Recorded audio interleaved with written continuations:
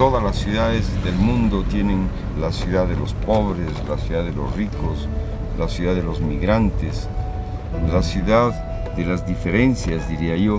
Las ciudades no son solamente para los seres humanos, en las ciudades también tenemos que permitir que estén las otras especies. No vamos a tener una ciudad democrática, inclusiva, sustentable, si en la vereda, si caminando por todas las calles no somos capaces de encontrarnos los más diversos y los más distintos. ¿Cómo logramos que esa ciudad amable se produzca? El Hábitat 3 nos va a nosotros indicar hacia dónde va el futuro de la construcción de las ciudades, de las viviendas. Una ciudad con espacios públicos, una ciudad inclusiva, una ciudad que no segregue, una ciudad que sea segura.